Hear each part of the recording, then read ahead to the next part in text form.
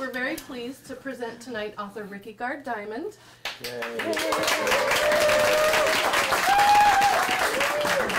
The director for the Vermont Commission on Women, Carrie Brown.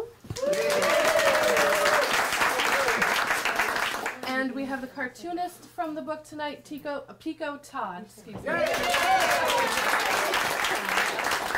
We're very excited for the celebration and discussion on the state of women's economics.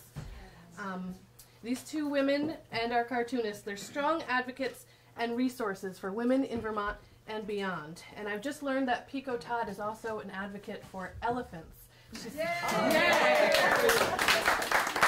Uh, Peaco and Rickey met while teaching at Vermont College, and it looks as though it's a nice Vermont College reunion here tonight. um, I'd like to let you know that Carrie will be speaking first for about 10 minutes, and then Rickey will present her new book, Screwnomics. I wanted to have a copy to hold up. Do you have your copy? Somebody, everybody has a copy. um, so I guess I don't have to urge everyone to buy a copy, but I urge you to buy a copy and one for your friends and everybody you know. Um, we will be taking questions from the audience. We will break for refreshments. We have cake that we'll be cutting, cheese and crackers, and there is wine compliments of the author. Um, and then we'll have time for book signing from both the cartoonist and the author. Um, oh, I also wanted to talk about the Econo Girlfriend. Will you be talking about the Econo Girlfriend or Boyfriend book group? Uh-huh. Um, so as I said, pick up a copy and pick up some for your friends. I'd like to remind you to please mute or turn off your cell phones and to let you know that the front door is now locked. Um, if you need to leave during the event, the back door is open. The back door is this way to my right. The bathroom is also located at the back of the store to the right of the back door. And I'd like to thank the Vermont Arts Council for featuring tonight's event as a Vermont Arts 2018 program. Feel free to pick up a Vermont Arts sticker. They're at the front desk at the counter, along with the book and also some handouts about the book and how to start a book group. Um, I'd also like to thank Orca Media. They're here filming tonight's event. If you'd like to see the video, please feel free to sign up on our newsletter sheet. It was being passed around. Um, it's also a nice place, our newsletter, to learn about future events and I'd like to let you know that next Friday, May 11th, we're hosting author Bernd Heinrich, who will present his new book of essays, A Naturalist at Large, and that comes out on May 8th, that book. Um, I'd like to introduce Carrie Brown. As I said, she will be speaking first. She has many years in service to women's empowerment, including working on legislation on equal pay, parental leave, and economic equity security. She has a Master's of Public Administration from Norwich and is the director of the Vermont Commission on Women. She also has a great sense of humor, which fits nicely with the book. Help me welcome Carrie Brown.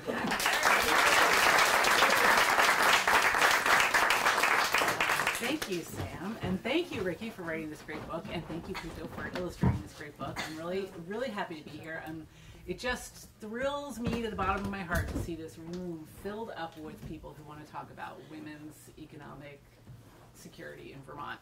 And uh, the Vermont Commission on Women has been around since 1964. We've been working on economic equity and security for women since 1964. We've got a little ways to go. We're still working on it. Um, and I just, I, I just have to say that in this room we have currently uh, one of our commissioners, Lisa Senecal, is over here. We have Susan Ritz, who's working with us on the Change the Story project that I'll tell you a little bit more about. We have Ann Sarka, who is a former executive director of the Vermont Commission on Women. Yeah. So there is, anybody else have any connection? Kathy Johnson did some work for the Commission on Women at one point. Anybody else have any connections here? 54 years. It's been a really, really long time. So the good news is that Vermont has been supporting our work of increasing opportunities and reducing discrimination for women for 54 years. The bad news is that uh, we're still at it. so I um I wanted to talk to you a little bit about the economic status of women in Vermont. Um, as I say, we've been working on this for a long time. So have many others with, in, in Vermont. So the Vermont Women's Fund and Vermont Works for Women are two organizations that have also been spending decades on this issue the three of our organizations decided we would get together, we would combine forces, and we would take an approach that looks at policy, philanthropy, and program all together to see if we couldn't advance women's economic status much more quickly than we've been seeing happen so far in Vermont. And so that's the change the story project. And the, one of the first things that we did was a really in-depth research project that took a couple of years. We came out with four reports, which I have a copy of each one here. They're all, of course, online, so you can go and take a look at them. And they really describe what's going on for women economically right now. So I want to share a little with you of what we see happening right now and then a little bit about what's being done in response to this. And then Rickey's going to be able to talk about a little bit more about kind of why and what's really going on underneath all of this. All right, so bear with me as I race through some data for you. I have no visual aids whatsoever, so you're just going to have to listen and hang on, and I'll try not to overwhelm you. And this is a tiny little taste of what we have. All right, so as many of you probably know, women are 51% of the population in Vermont. 66% of Vermont women are in the labor force. That means they're working, they have jobs, and that compares to 69% of men. So it's really pretty similar, very close, and we're also a little bit above the national average for women in the labor force. Uh, one interesting thing that we found when we looked at how many people were working based on their ages over the course of a lifetime, the peak for women in the labor force is during the child rearing years. And so we might think that when you have kids, you have babies, you have children to take care of, that's when you step back from work and work less, which is much more true for women than it is for men. But overall, women are working much more. They're working the most at that time in their life. Mm-hmm. And so I think that's really important to recognize. Um, one of the one of the things that that um, reminds us about is the importance of childcare and how women need to work, and so they need childcare, as do as do dads who are also in the workforce. Um, we when we looked at uh, the research that we did was women who work full time, and because it was it gave us a clean comparisons, but the reality is that many more women work part time than men do. 25% of women in Vermont are working part time, and that compares to 10% of men. So hmm. it's two and a half times the rate for women to work part time. And we don't know all the reasons why they do that, but we do know that when they're asked, women are nine times more likely to say they choose part time work because of family responsibilities. And so women are spending much more time taking their kids to the doctor, um, picking them up from soccer practice, uh, taking care of the aging parent or grandparent. It just falls disproportionately on the shoulders of women, which takes time out from how much they can be in the workforce and how much money they can be making. Um, 71% of the part time workers in Vermont are women. So it's really your typical part time Vermonter is a woman. And uh, partially for these reasons and, and many others, women in Vermont are much more likely to live in poverty. They're more likely to live in economic insecurity than men are. 57% of women who are working full time in Vermont are making less than $30,000. And 57% of men are making over $30,000. So it's interestingly kind of exactly flipped, and we see that disparity there. Overall, when we look at Vermont families, 13% of them are living in poverty, and this is meaning below the federal poverty line, which I can't tell you what the, that number is. Does anybody know what that is right now? It's it's shockingly low. You would be flabbergasted at how little money that actually is. And so that's 13% of Vermont families. But when you look at the families that are headed by a single mom, then it's 37%. So that's a really dramatic number of people. That's a that's a lot of of neighbors and um, friends and people who, who live around us in Vermont.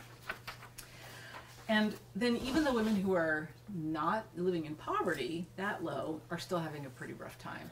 So every couple of years, the Vermont Legislature's Joint Fiscal Office does an analysis of how much it actually costs to live in Vermont. They come up with something called a basic needs budget.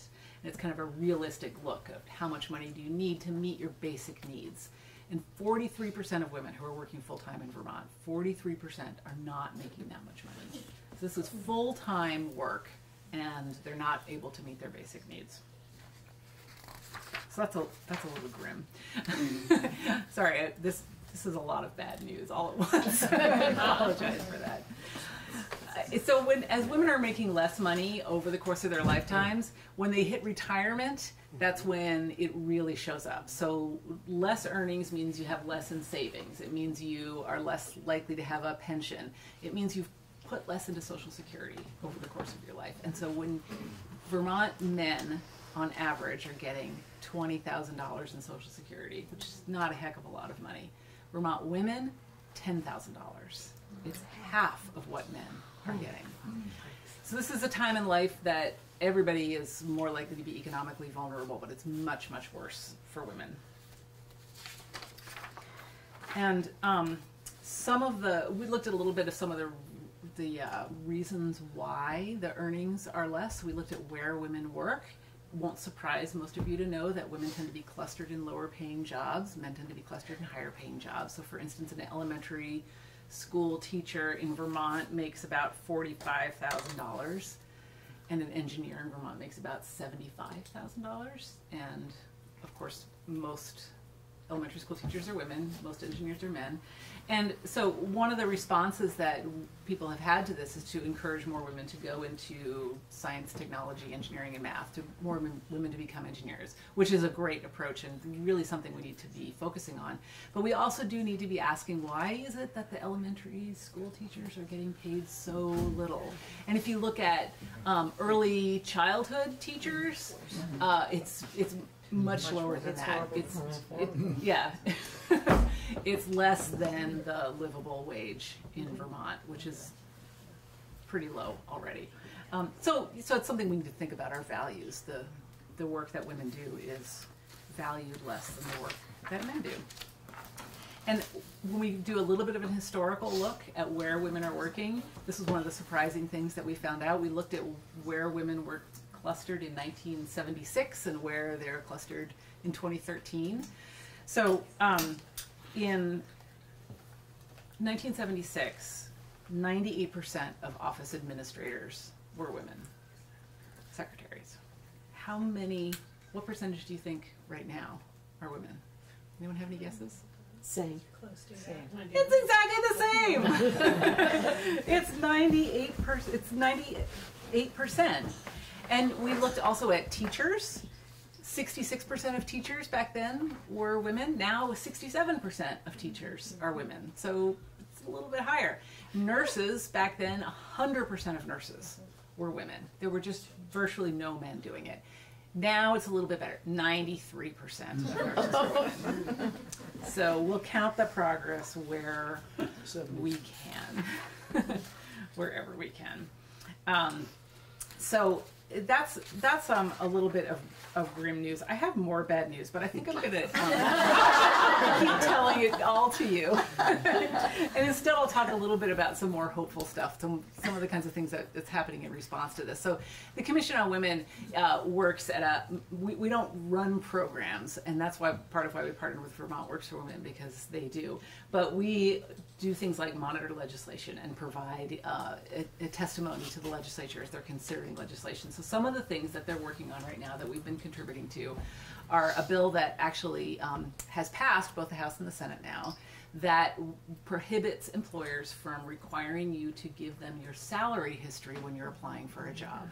And this is significant because if women are earning less and then they go get a new job and the boss says, I'm going to give you a 20% raise over what you got at your last job, aren't I generous? it, it's if they're doing it to the men too, you're just perpetuating that disparity. And um, so this is passed both the House and the Senate. The governor is very supportive of it, and so this is something that we're seeing happen all across the country. It's one of the, the newest tools in the, the arsenal against um, the pay inequity. We're also working on paid family leave, which um, has passed the House and is in the Senate right now, and I don't know what's going to happen with it. It's having a hard time getting through the Senate, but this would be a very modest benefit that would allow people to take a little time off when they have a baby or when they have to care for a sick family member.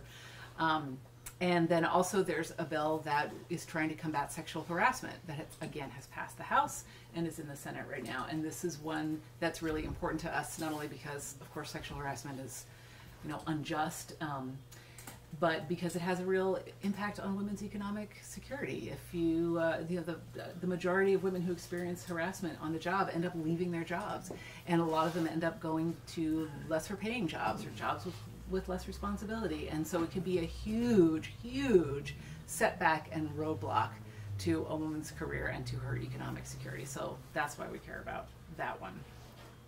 And then I'll just say one more thing that you all can do as well. Little pitch for this is a project of Change the Story. It's called Conversation Cards. It's a deck of cards that includes both data, some of which I shared with you, and also thought provoking questions. If you get together in a group of your friends or a school group or a book group or something, that you can use these to mm-hmm. have a conversation around gender roles and around gender stereotypes. And we have, I have a whole bunch of these. If you want to take one of these, I will give them to you. You can take them out and make good use of them, and we'll just ask you for a little follow up. But uh, those are those are there, and afterwards we can talk more about those. So I will. Um, now that I've shared a little bit about what things look like for women in Vermont economically, Rickey's going to be able to tell us a little bit more about why and where this came from and what's really going on here uh, to kind of try to get underneath all of that. Um, so I'm really happy to be here with Rickey. I met Rickey a few years ago when I wrote an article for Vermont Woman, and she was my editor, and she was so impressive as an editor. I got to tell you, she took. I'm a decent writer, okay? I can write, and yet what came out of Rickey's hands was so much better, and I was so appreciative of that. And um, so Rickey became the founding editor of Vermont Woman in 1985. She's still a contributing editor. And uh, she spent over 20 years teaching writing and literature, feminist and media studies at Vermont College at Norwich University. And at, all the while, she was publishing articles and fiction. In 1999, she published a novel called Second Sight, and that was reissued by HarperCollins in 2000. And she's working on another novel right now I hear. and in 2000, um, sorry, now I can't read my things. 2011, you were awarded the National Newspaper Association Award for an article series called An Economy of Our Own. So you see where we're, we're going here. And then in 2014, she won a Hedgebrook Fellowship for her work on this book, Screwnomics. So now we get to hear all about it. Thank you so much for being here, Rickey. I'm. Thank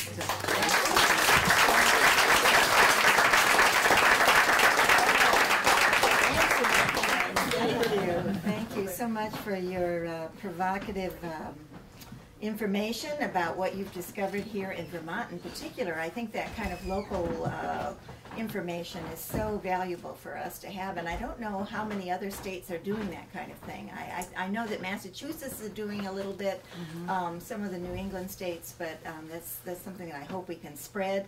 And um, I, am so happy that Change the Story has kind of uh, adopted, uh, Screwnomics is another piece of the toolkit possibly for starting those conversations that we really need to have. I, I would love to give you some good news, but I'm afraid it's even worse as far as I'm concerned. You're all being screwed, and systemically, and uh, and so that's part of what uh, what uh, Screwnomics is is really about. Um, I, I want to. Um, I want to thank uh, Samantha uh, Colver for uh, putting this whole event together, coming up with this incredible cake. You have to see it over here and take a picture of it, please, because you know it's going to break my heart to see it cut up into pieces. But no, I want you to all to have it. I didn't spare any money. There's the best box wine you can buy. and and I am of the opinion that economics really should not be talked about except among friends with some nibbles and a glass of wine. That really is the best way to approach it. Um, I, I really am um, happy to say that I saw something on PBS about independent bookstores like this. Don't you love this place? Mm -hmm. uh, yeah, yeah. They, they, are actually making a comeback because a community of readers is so valuable to our communities, and I'm so happy to know that that is happening. So I encourage you to, um, if you read Screwnomics, it would be wonderful if you could post something on Amazon and Goodreads, but come and buy your books here if you can. Um, I know electronic versions are available too, but um, I, you know, I like those old paper ones. So I want to uh, also um, thank so many people. There are two pages of acknowledgments in Screwnomics because I have been, I see so many dear friends here from um, Vermont College, some of whom, eh, you know, I've talked to them about these issues and their eyes have kind of glazed over and they've tolerated it, you know. But they've also encouraged me. Um, Ann Stanton, who is my dean over here, um, I said to her, uh, is it all right if I combine um, literature and economics? You know, most people would say, absolutely not. That's not your training, Rickey. And she said, yes, you go for it. So it's really, it's really her fault, and also the fault of all my my wonderful colleagues at um, and my students at Vermont College, where we. Um, engaged all the time in vigorous dialogue where we had um, intensive conversations about what really, really mattered to us. So that's where this book has really come from. Um, and also, I have to point out uh, Suzanne Gillis, who's back here in the in the corner. She's the publisher of Vermont Woman, and too seldom recognized, I think, for her more than 30 years. She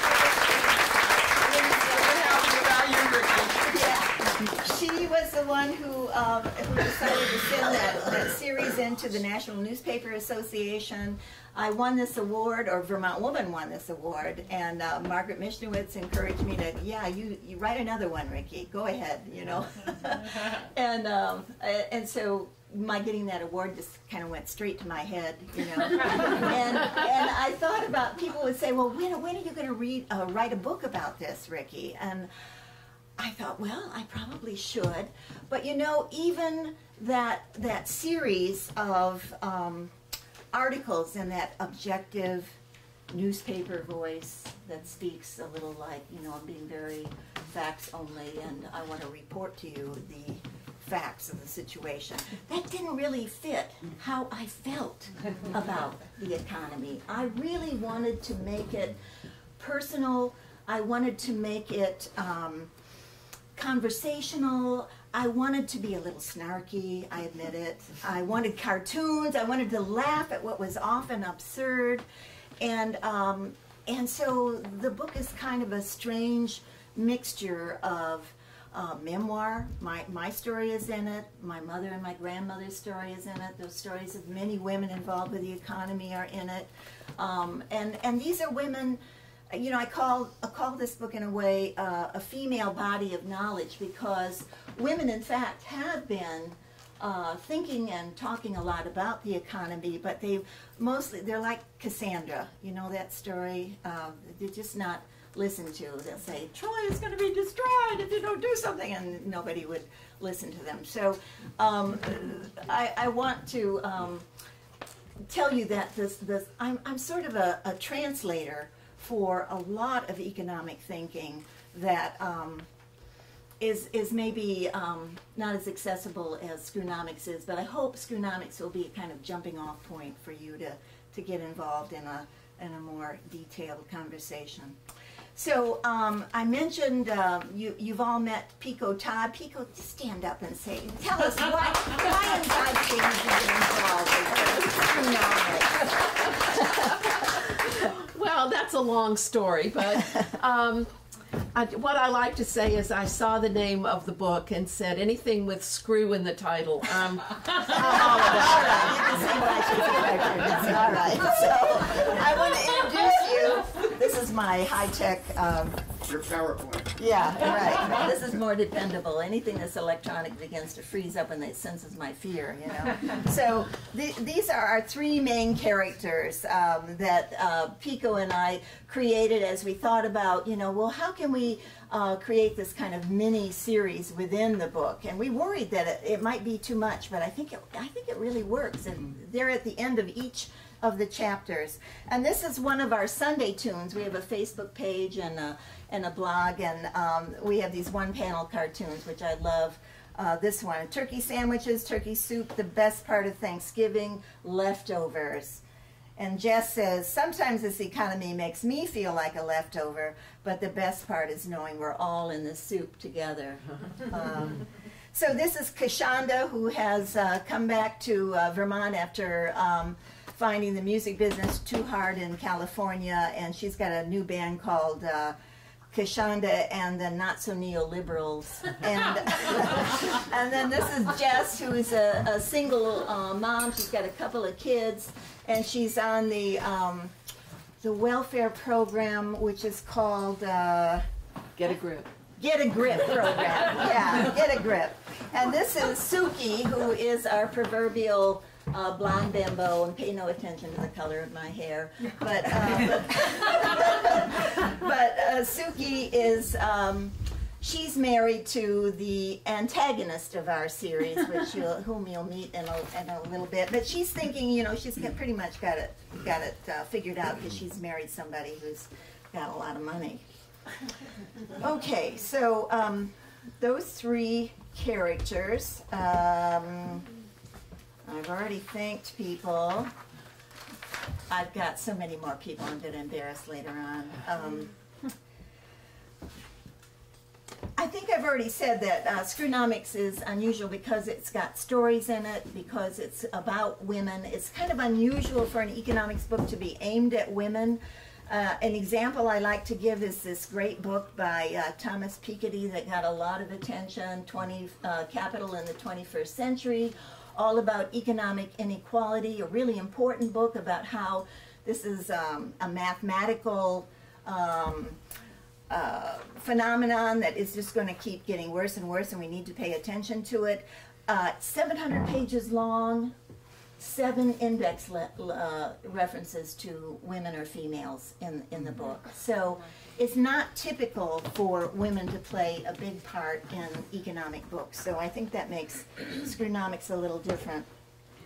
Um, for me, what made this subject interesting was what all around me, uh, invisible like the air, being applied everywhere, but never spoken about, was what I had to name Screwnomics, the economic theory that women should always work for less or better for free. And that includes our Mother Earth, who's also, you know, we never call, call her uh, Father Earth. She's always Mother Earth, and also men who do those jobs like nursing or teaching. Why do we value those? Why do we discount those those jobs that have traditionally been female? So I wanted to figure out, you know, how did we get here? What what's the story behind that? It's a it's a long story going back 40,000 years, as it turns out. but I'm going to tell you uh, a story from the book about my life and what got me started asking that question. So this is from chapter one, titled Talking Dirty About Dirty Secrets. The bargain of women's work comes cheap, while other prices inflate and go up. Dressed in my business suit and new earrings, embarrassed and tentative, I take a seat in my local Michigan welfare office waiting room. It's 1979, and my shock at being there at all is met by the greater surprise in the eyes of other waiting faces, darker than mine, and with eyes sadder than mine. I'm ashamed of how well off I must look, dressed in earrings and business suit, sticking out in the company of those darker mothers in t shirts, surrounded by young children, but also by how well I am treated by the all white social workers. They rush me into a private meeting room, leaving those who've been waiting, waiting.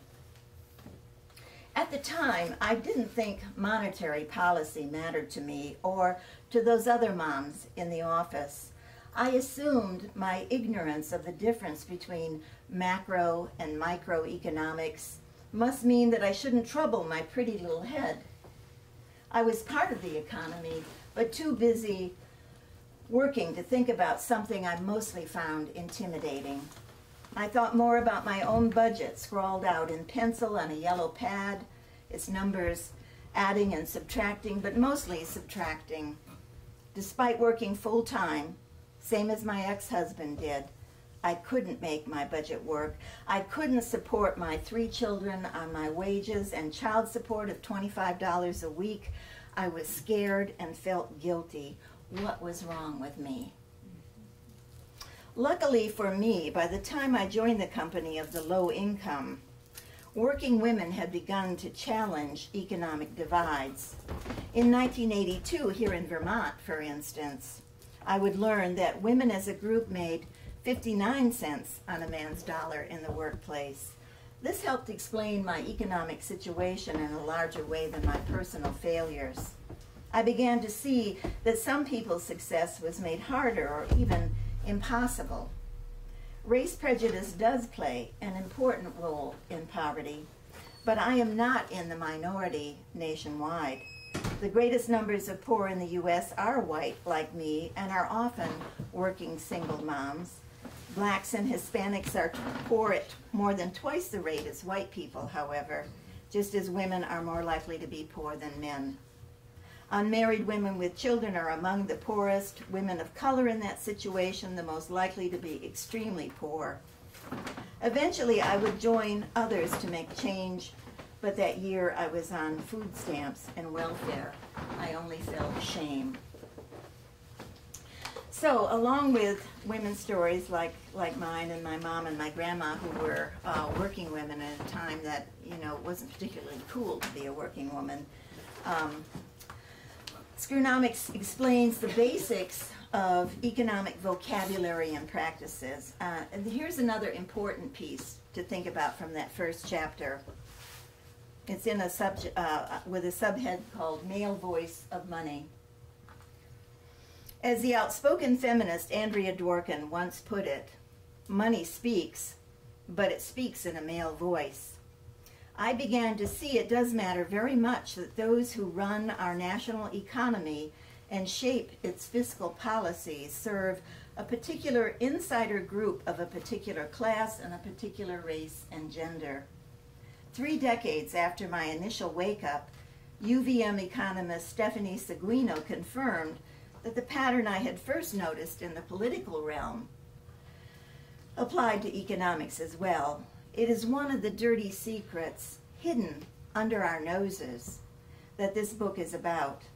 I had to invent a new word to more easily describe the ultra masculine, ultra rational mindset that has become a social construct of our time the pale male voice of money and privilege, economan. okay, I think this is a good time for us to, to meet uh, Suki's husband. We named him Blaze Bernays. and he, his business card said, It's your right to profit no matter who pays.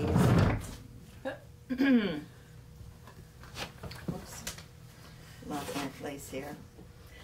Um, so let me now show you the real thing. This is Blaise Bernays, the cartoon, but there's a real Economan too, and I'm going to show you one of them. And and I show you others, but this is a guy that I really love. Anybody know who that is? Milton Friedman. What? Milton Friedman. Milton Friedman, and uh, this uh, expectations adjusted Phillips curve illustration, which I'm, I'm sure you're all familiar with. what, what is that from? Do you know? Uh, it's from the 1976 Nobel, uh, or what I call the almost Nobel Award um, for economics, and, and this is from his um, his lecture uh, at the Nobel Awards. So let me read you a little bit about um, about Milton. By the time Ronald Reagan was reelected president in 1984, I had witnessed a transformation in how our government viewed the economy. Reagan's favorite economist, Milton Friedman, had promoted trickle down prosperity for all, theorizing that cutting taxes on the rich would soon eliminate the need for government safety nets by growing the economy. It sounded good. What had been called voodoo economics by President George Bush I became the greatest thing since sliced bread. I later learned this economic pivot had actually begun in 76 when Friedman was catapulted into fame for this Nobel Prize in Sweden. That award is living proof that Economan really does count on most of us not paying close attention. Economics was never included in Alfred Nobel's recognition for noteworthy endeavors established in 1895. In 1969, the Swedish Central Bank created its own separate award, the Memorial Prize in Economic Sciences in memory of Alfred Nobel, timed rather cunningly to blur its difference from the older original awards for chemistry, physics, literature, and peace. Until recently, when the Nobel family protested, the press had routinely left out this detail, apparently considering the banking world's conflict of interest in elevating the field of economics irrelevant. Friedman sought to link economics to a uh, physics of natural forces, describing its parts with complex mathematics. The award he received posed, helped pose his prescriptions as something loftier than power and politics, and in terms less disputable, more like gravity and momentum. In other words, the lying notion that a class of privileged men did not create these ways of thinking or at all benefit from them.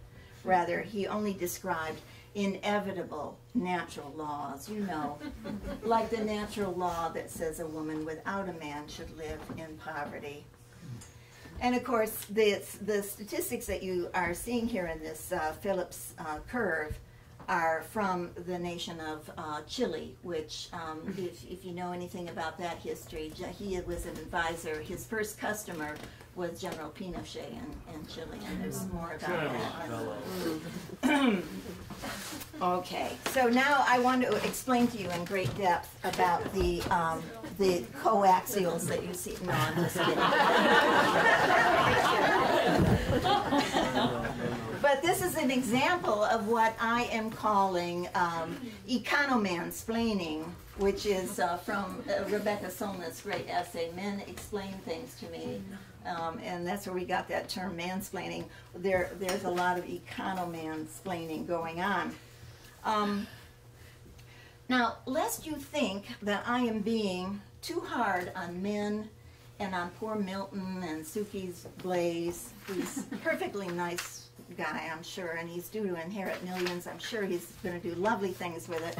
But um, these guys are not what I'm calling economan. Economan is a hyper masculine ideal that we have created, a social construction that I believe is operating at a half conscious level and harming the majority with its assumptions in the big picture, Milton and Blaze are pikers, okay? They really are. so I want to talk about another part of Screwnomics, which are the um, the definition boxes that you'll see in the book that um, you can read or you cannot read. It depends on what you're interested in. There are about 50 of these boxes in the book explaining um, complicated things like uh, derivatives and um, what are some of the name, uh, energy swaps and that sort of thing. But this is a simple one, millions, billions, and trillions, because I think so many of us really don't appreciate the enormous, they sound kind of alike. Millions, billions, trillions. You know, it starts to add up after a while. But I don't think we really, really uh, appreciate uh, the enormous difference there is. And it's easier to see if you translate it into time.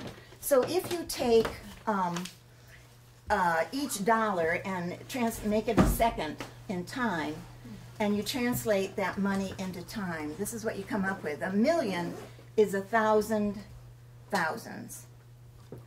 so you count each single dollar as a second in time. One million seconds gives you 12 days. Okay? A billion is a thousand millions. I'm going to stand in front of this so you can see it. so, um, how, how much do you think that adds up to? How much time does that add? up? 12 days is a million. How much is a billion? Huh? No, it's 31 years. 31 years of time, that big of a difference. Now, what do you think a trillion is? It's a thousand Billions. Thirty-one. billions, a thousand billions, Thirty-one thousand years.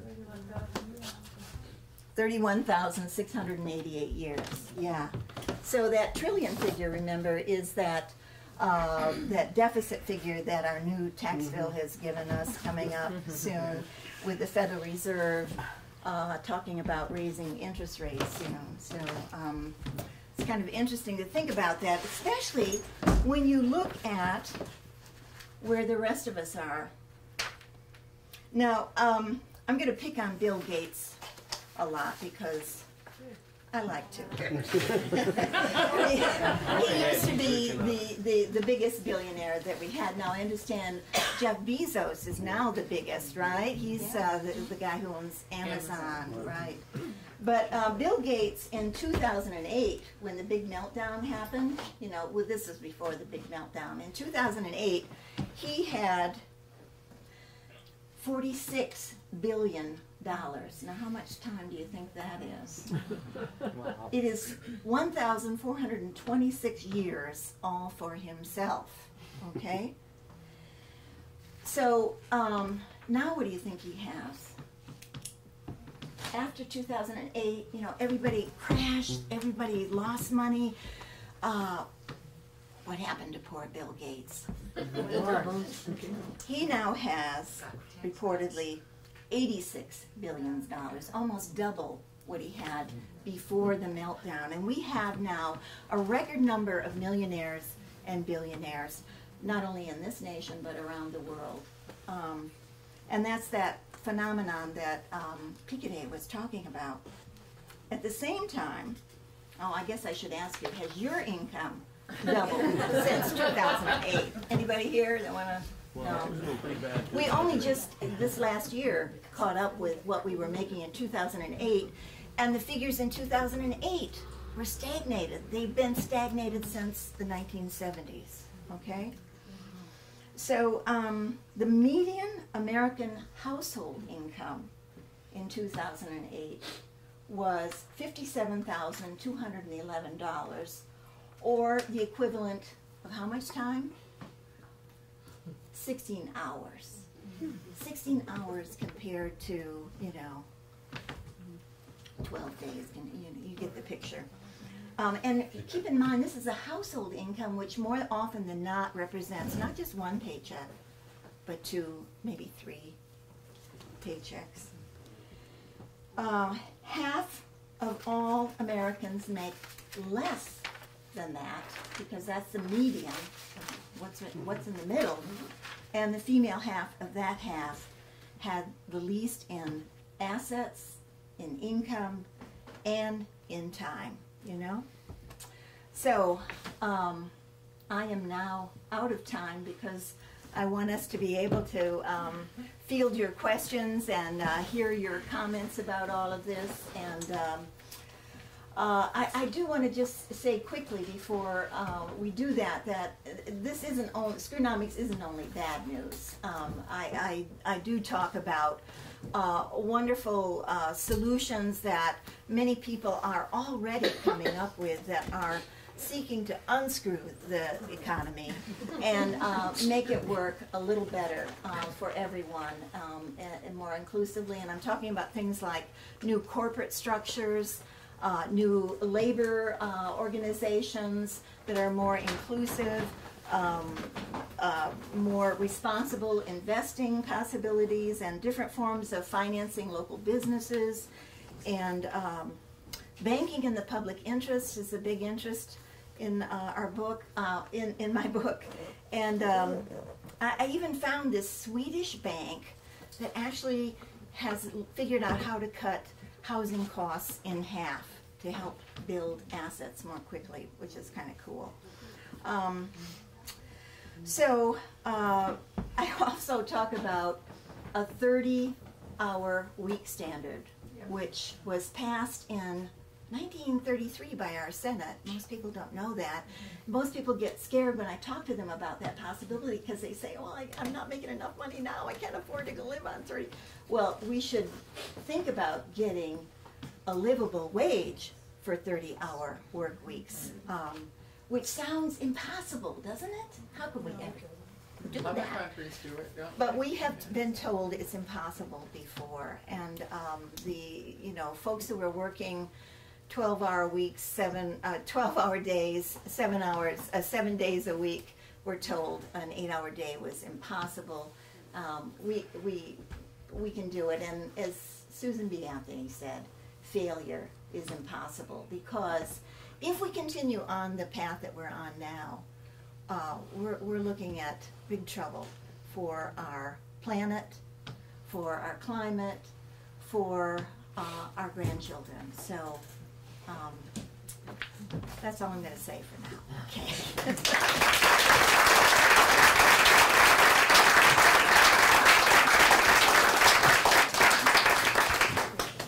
so, yes, do you have questions? I, I what? just wanted to, Oh, um, a moneyed aristocracy forming in this country. Um, and they thought that that was bad for democracy. And so they made sure that there was a very hefty inheritance tax, okay, that sort of prevented that kind of uh, monopoly game where some people start on Marvin Avenue instead of Go, you know. Um, so when you rename that inheritance tax, the death tax, and you talk about it as, that's so unfair. They're dead. They can't even fight for their rights. You know, it's so wrong to. Um, you reshape how people view it, and um, and and I think that the hedge fund folks and, and their groups who are very active in, in Washington where policy gets made um, have done a good job of reshaping the, the public conversation. They also own the media, which is a big advantage. Um, um, and so I, I think we really have to examine the language that people are using because um, I mean, uh, the, the entitlements is that we can't afford anymore. That's an, that's another, you know, instead of calling it social security insurance that you pay your premium on every, you know, with every paycheck, somehow, uh, the idea gets out there that we can't afford that anymore, even though a nation much poorer than we are established that a long time ago. So, language, I think, is a big piece of, of, um,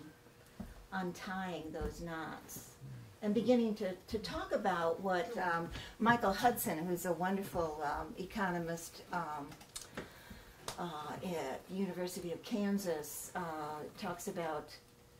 Uh, his book is called "Killing the Host," and his idea is that the economic overhead of hedge fund managers and, and those, you know, like uh, Henry Paulson, who was the Secretary of Treasury, was with Goldman Sachs, and and um, he uh, he was so well regarded that uh, he was called King Henry by everyone, you know, and he left the Treasury office with you know an eight hundred million dollar fortune, and nobody questioned that. Instead, it was like, oh, King Henry just entered the room, you know. So we need to begin to say, wait a minute, we we signed off on kings in 1776, didn't we? Um, let's let's uh, let's rethink this, and that's that I think is part of that uh, social construction I call economan because that that idea that I should be king, I should rule, I should make all the rules uh, for that operate on all of your lives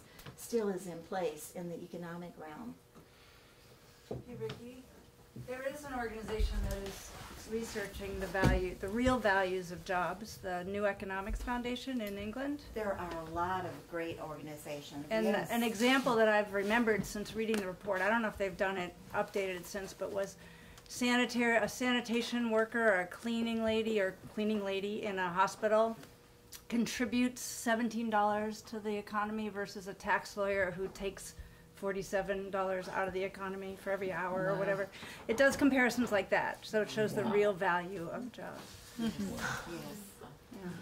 Yeah. There are a New lot of- Economics Foundation is, Yeah. they do a lot of really interesting research. They do, they do, and I, wh- while I'm looking at you, I, I need to mention the way we account for things with the GDP, that needs to change, doesn't it? Um, uh, just counting money and not counting other things of great value, um, like gross national happiness.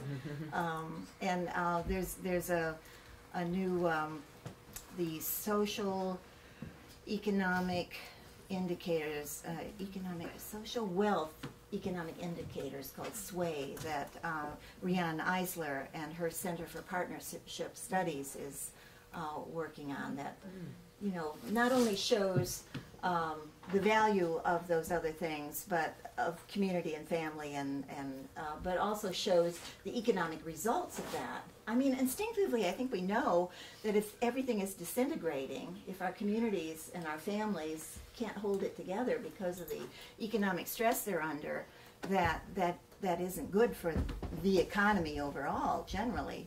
But um, we have to see the numbers. We have to be able to prove it. So there are lots and lots of ways that people are already working that are very exciting to, to think about. So um, I don't know about you, but aren't you ready for some cake?